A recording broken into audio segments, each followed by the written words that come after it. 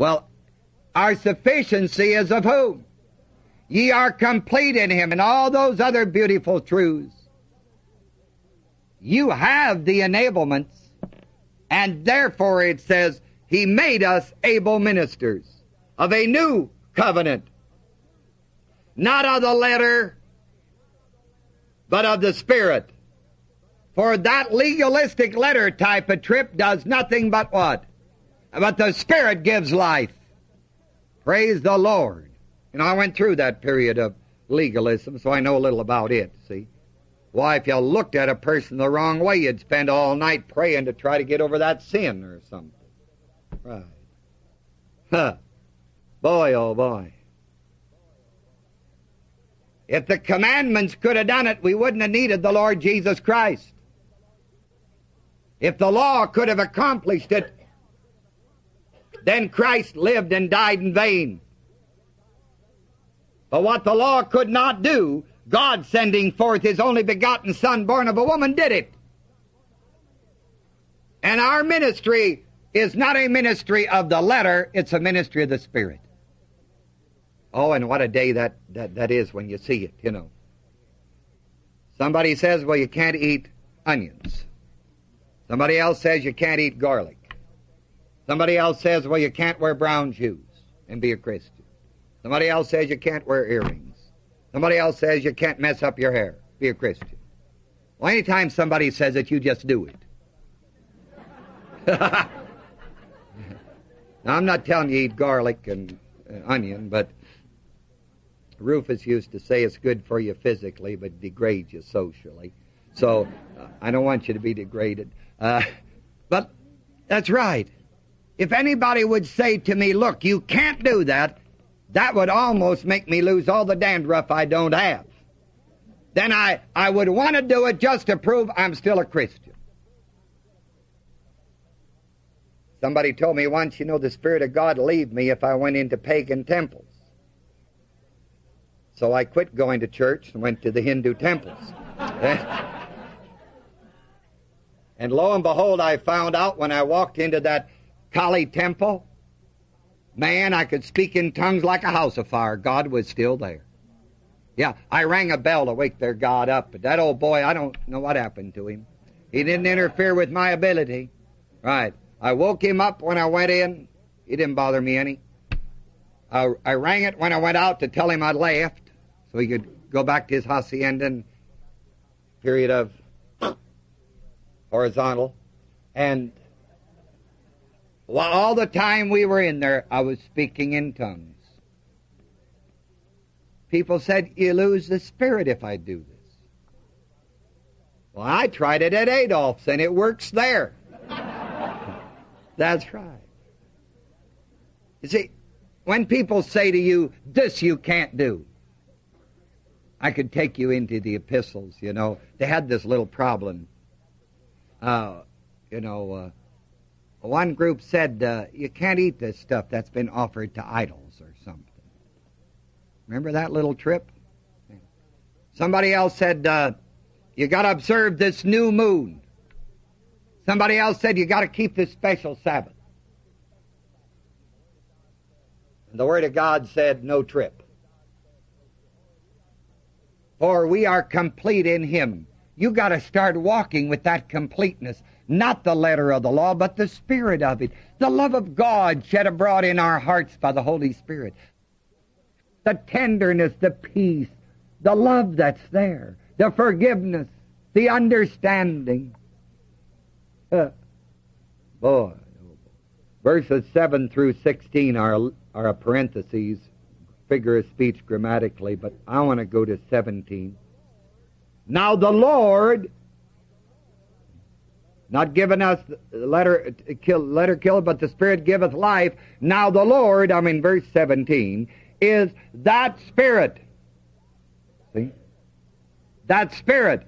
And where the Spirit, that is to say, of the Lord is, there is what? Liberty. Liberty.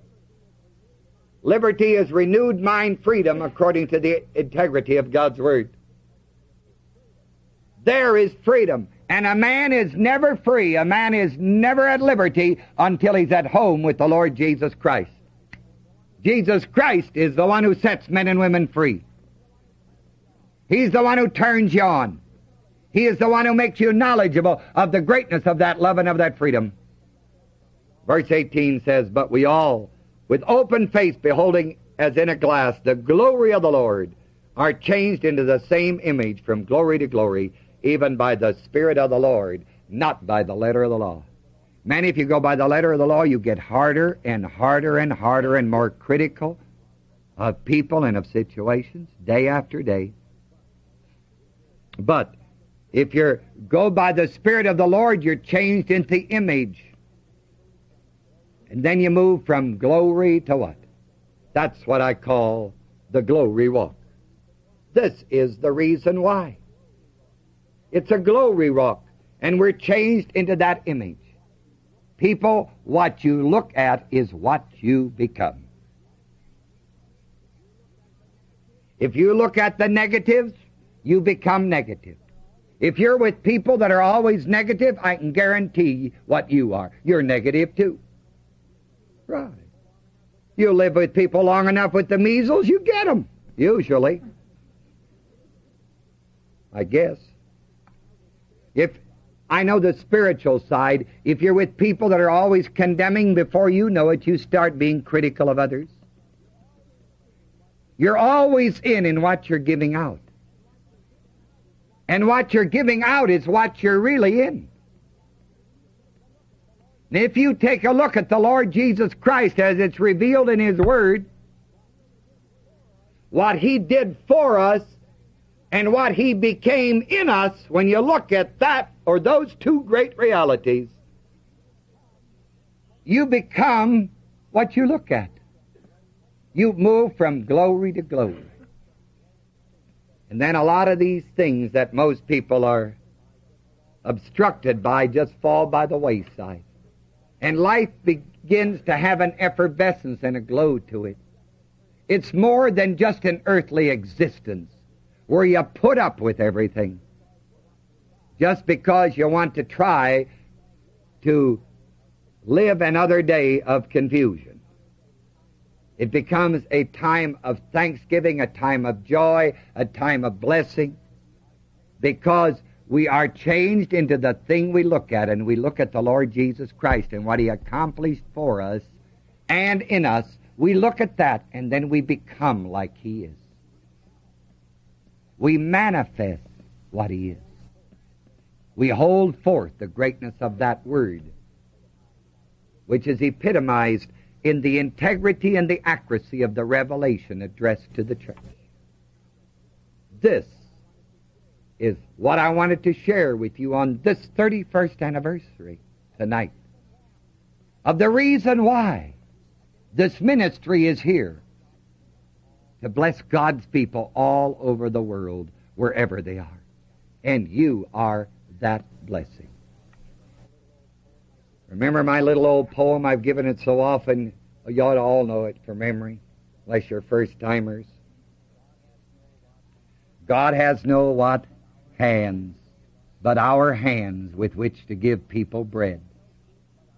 He has no feet but our feet with which to move among the almost dead. We say that we are His and He is ours. These are the proof of that, not words and these are the proving hours. Ladies and gentlemen, it is by divine design that you are a part of this ministry at this time.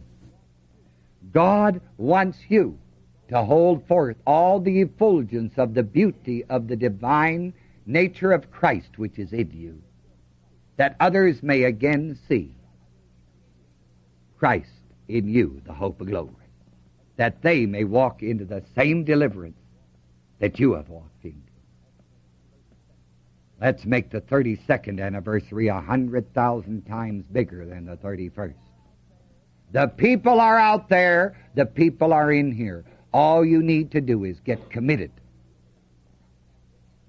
and not have, get a knowledge of that word, a little bit of it, anyways, that you can tell them what the Word of God requires for us to say to them. Heavenly Father, thank you for the privilege of teaching your word again tonight to your people here. Thank you for your love and your greatness and your goodness to us. And Father, in your wonderful name, I bless your people tonight. Every person gathered here at International and all of our peoples around the world. Surely thank you, Father, that we have an opportunity to know your word and to hold it forth in this day and time and hour. And I love you for all of your goodness unto us. And thank you for it through Christ Jesus our Lord. Amen.